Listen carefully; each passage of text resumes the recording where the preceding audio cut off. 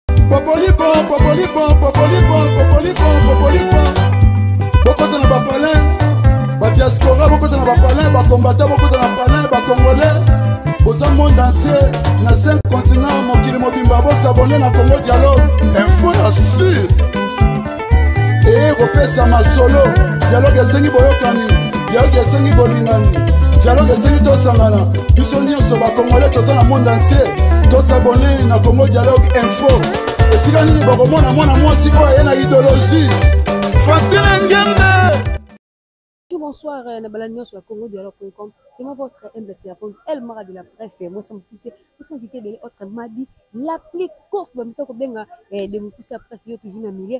Na je me ko bonne émission na sana remercier ma maman chérie, maman Francine Ngenge, ma mère ya Belgique après ça makas. Pourquoi pas na remercier ba tous ba soutenir na lokola euh, Elodie la maintenance na Bundes wana sans oublier ma famille miel Keren miel en Allemagne, Tichimel à Paris, euh, wana mon soutenir qui na ngambo Sephora miel pourquoi pas na pesa mbo de notre cadet Andy Mialu wana bosi esuki eh, ma copine privée vraiment dorcas eh, mbala bambote ebele eh, voilà très cher ami internaute eh, eh nasi bakamera toza bongo na notre réalisateur eh, gradi mabanza bayi mambalo vraiment afilma film ya jésus eh, nayebi ki bongoni el mara susu lelo atele mpona badécouverte tosala lelo toyosala toyosala concert ya ville ya kinshasa eh, babiloko emati mati mati mati biloko emati comme exemple nakopesa ka ya lipa na ba pays mosusu soki okei mpenza kosomba neti brazzaville na beta tour mpenza na, na sefa wana okoki kosomba lipa sa 100 franc ya deux heures okosisa yango te mpe na mboka na biso lipa ya pistolet ekomi ntina niveau eza 400 franc yebisanga bana mikolo mpe bakoma kobotama na banzala na bamona bemo abotami sika emwa demo akomi kolia soki ozoi mwana mwa moke mpena lipa wana mpena ya 400 franc mwana oyoka ndenge mwana moke akotonda te mwana moke atonda lipa 400 te biso siko mikolo tokotonda yango yango na préféré vraiment tolobela yango lelo tokoluka ata mwa deux ou trois personnes to développer par rapport ya découverte toye kosala biloko ezali komata biloko eza komata makasi tokoyoka bamama oyo batekaka mapa bakobetela biso oza nini babi farine ekomi eh, ekomi rare to ndenge nini donc to tolobaka ke tosabona na chaîne tolayika topartageaka toloba yango mpo toboyoka bamessage oyo biso tozobimisa kongo dialogue badécouverte tozosalela bino mpo bozala tusu ya kosepela donc montréal soki oza meme mora tokoluka ata bo deux ou trois personnes vraiment tomeka kobeta lisolo oyo ya makambo oyo ezoleka na ville ya Kinshasa. Bandeko balobaka dollar dollar dollar, nga na kamwa mais eza bandeko mosusu mpe dollar ekozala na oza na se mais azoteka kaka kimoto ya mabe na mona yango kaka na RDC parce que soki okende ba pays mosusu omona so batie leo batisi par exemple transport na Brazzaville saka 100 eza na moto moko toloba te amema wana na 200 francs c'est quoi eza impossible bakanga mais biso ezalaka oyo atia bii na ye bino oyebi te surtout bana tiango basufra boye basufra na ba 200 Moni transport ofutela pena 2000 poko na Kinshasa pena 200 mona ka 10000 fois kufa na moto. Pona nini? Ba makambo vraiment tozo sala tozo yeba o tozo sala tozo lingi mboka na biso. Ya ba ba tsaka pena ba près biloko bango moko. Biloko musu pe za remataka par rapport ya to ya dollar ndenge za laka. Donc ya Montreal vraiment oko landa nga to meke pe ko develop ko developer makambo na ba ndeko oyo eh ba za na ville ya Kinshasa par rapport ya sujet na biso eh biloko emati donc eh toko zongela bino kala mingi te merci. Bon, bonjour maman. Bonjour maman journaliste. Eh. Boni santé kombo nani?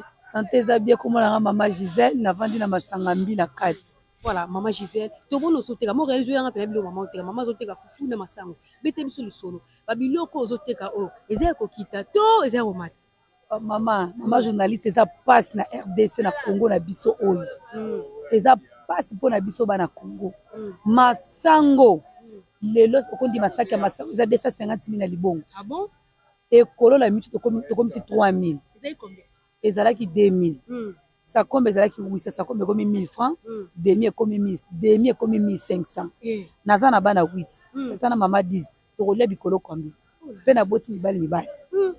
papa tozokoka so te mama tokoka te na rdc oyo biloko ndenge ezomata dollar ya ngai na ekomi 28700 na matadiki bala a toza na masanga mbila papa tozokoka te leta atalaso likambo oyo ya biloko akolia ekita papa alo papa na euh, fati berta alobaka nini le peuple d'abord bokoniata masango lokola bakayansa tozozela tolata masango lokola bakasi masango yango ezomata lobi prix mosusu lobi kuna prix mosusu moniata bino lokoafuno kozouta kaka na zero mètre a na koko na congo central hmm. okondima mwaka mwa saki ya mokebo tosomba yango na 110 mille hmm. mwa allonge wana molai tosomba yango na 170 mille embouteillage elobi prix hmm.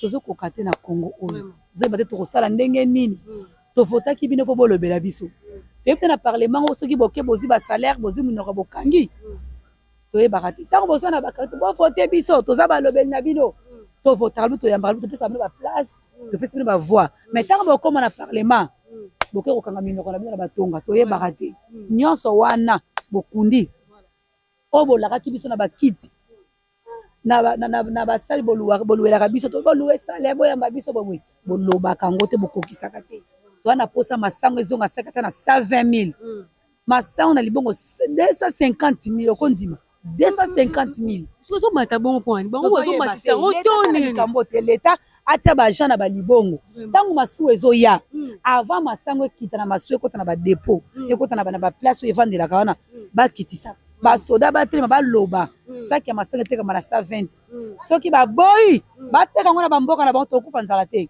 ozota likanisi ya kosangana bino nyonso bokesana po marché mpo na makambo ozosuta likanisimarché mpo tolibisa mama mombuku tolembi hmm. mombuku ezalaka so na bénéfice te hmm. au contraire ezodinda hmm. ezodinda nasali fois sa 50 mille na départ principal eza lokola sa 55 yaya nateki 80 mille ah. mbongo ezokita ezokita ezokita na kolia na badepense mosusu batransport ya bana classe bakomi na congé sava quand même yango toza na mposa leta na biso vraimen asunga biso mm. atya baagent na libongo mm. atya baagent na badepo fufu mm. donc alandela makambo ya kolia oyo mm-hmm. ministre ministre ya kolia yo moto olandela makambo ya kolia ministre ya transport botala cote transport embouteillage eleki na kinshasa towuti mbuba kosala masika na masanga towuti mbuba tokenda depuis samedi mm.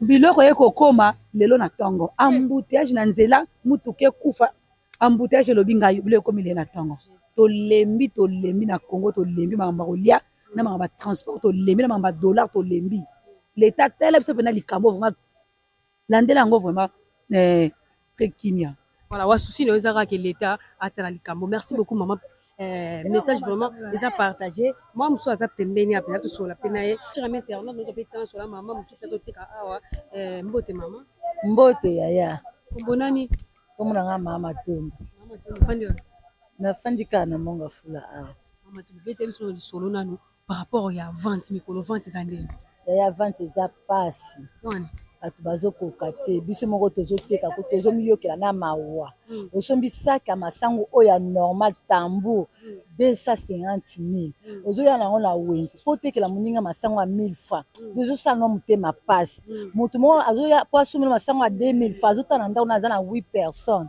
ye moko na papa na mama bamosusu 10 personne donc bazosomba masango ya 2000 franc ezokoka te te masango ezokoka te masango ezomata du jour et jour eza produit agricole mais ndenge ezomatela ondie biloko ezowuta poto hmm. tozoyeba te ndenge bafutaka badokima na bango na nzela ya mai hmm. bazofuta batransport na nzela ya bamituka hmm. bazoloba bazosenga cher o oh, carburant me emati sikoyo tokosala nini do motu na moto azotika na lolenge na ye do awa mboka oyo pa ordre eza te moto na moto aza na position ndenge asombelaki ndenge akotekela eza teke boza meme moral boteki nde tosombi bo tooteka bo eza te desordre si desordre mm. soki totali na nzela tozokende kosombela biloko mm. embouteillage en tout cas elekani imaginez vous tolongwe kaka mbuba awa mm. na samedi tolonge samedi na tongo tozoya kokoma awa na kinshasa dimanche na 4 heures mm. donc embouteillage tolali libanda ozomona malili ezo nyokola bino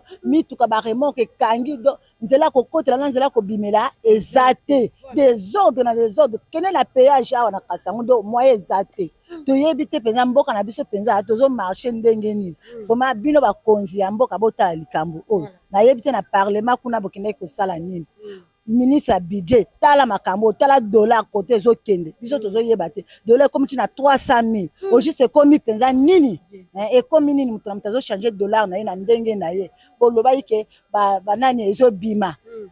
ntina lelo tozotala oyo oh, tozolobela makambo oyo oh, tozolobela makambo soki bokoloba mokolo nini mokolo nini bokotya makambo nyonso en ordre hmm. donc desordre na desordre tozokamwa mpe ya mboka na biso bafati tolobaki yo oza mwana mboka tozovote yo mm. mais lelo ki mwana mboka na yo tozosouffrir tozosouffrir mpenza bokevandela mpe badossier oyo tobandaki kovote bino bovandeli yango kuna na parlement lokola bokomi kolia bambongo na bino biso bamingamba na bino toko tokovote lisusu te wana soki liloba suka no ezali parce que namoni mama oza na kanda bamakambo ebele ebele okutani nango vraiment eh, lobisi maloba moko besali nga mpasi pesa mwa message na suka eh, maloba na ngai ya suka eza boye vraiment mibeko ebima mibeko mboka nyonso ezalaka na mibeko na yango mibeko ebima botya ordre dollar ekita mpe ata mwa ndambo mm. biloko ekita biloko ezowuta poto ekita biloko ezowuta mpe bamboka pesa nini ekita ordre nde ordre nde ekota elongo na ordre wana tokokende liboso biso nyonso toza na mposa mboka na biso ebonga toza te kaka na mposa tokenda koanvie bamboka mosusu bapoto me ya biso moko tozokoka kovanda te merci beaucoup maman en tout cas boyoki ndenge maman uti oloba vraiment eh, bazoteka su bien te vente ekomi kilo vike to ya dollar eza likolo eza ekomata donc ezosala vraiment kitoko te donc okonti toujours kotambola totuna yo bandeko kaka par rapport ya ndenge eh, Te mama, bote kombo nani, boni sante, ofandi wapi? Navandi kaka na masanga mbila. Hmm, mama, tomoni ozoteka fufu bita biso na lisolo, biloko yango eza ya kokita to eza ya komata? yaya biloko eza ya komata moni neti lelo na miniti omoni ngai navandi ana oti libongo mm. tozala kosala masango na 160 170 ye tosali masango na 205 000 franc congolais mm. sikoyo transport na yango kutu ezalaka 15 mille mm. donc na badepense mosusu ya moke moke toyebi te toyebi to juste eza nini mm. po modele oyo emateli tozoya mpe ndenge aotekela moto po 200 mille 205 mille soki ozwi na batransport ça fait 220 mille mm. toteka yango ndenge nini donc difficulté toyokuta yango na mosala commerce yango wana sikoyo nde ezopesa mpasi bontango ozoteka ozwa bénéfice te ozokontinue koteka toujours pona Omoni ete oteka, tokomi koteka lokola na nzala na peme na sens wana. Nateka na nga kaka pourvu nazwa ata kopo ya fufu mpo bana balia, mais na realite ya commerce tozwa eloko te. Donc na realite ya commerce tozozwa ata eloko moko te. Po benefice nyonso lelo nake na sombi 150. Ntango nakozwa 10 000 lobi nake na sombi 160. Est-ce que naza na interet? naza na interet te mais siko mpo nazanga na ngai ata fufu yango te mm. de façon ke nakende nasomba mm. nazwa ata mwa fufu na ngai kapitale na ngai nde ezonga mais kapitale ezozonga na difficulté mm. tanto ezongi tanto ye ekoki te moninga mosusu asungi yo ko osombi oyo oteki opesi ye kaka bongo to makambo ekomi bongo bandako ya bato ofuta ntango to ozosalela garanti na minute yo dollar kutu o dollar a kuna amona tabla batie 28 eh mais kote na uti 27 28 700 28 500 sikoyo nazofutela ndako ya 50 dollar bien 100 dollar hmm. na moyen nini oyo nakofutaka ndako wana na bana epai hmm. do badifficulté eza ebele obandi kotala boye ozongi boye donc eza kaka pasi donc tozokoka kosan sortir te hmm. donc vraiment gouvernement atala makambo